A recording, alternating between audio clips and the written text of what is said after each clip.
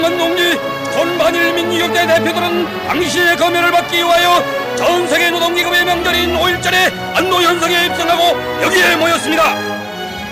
혁명동지들 5일절에 주음하여 동무들을 축하합니다. 우리 민족의 태양 김일성 장군 만세!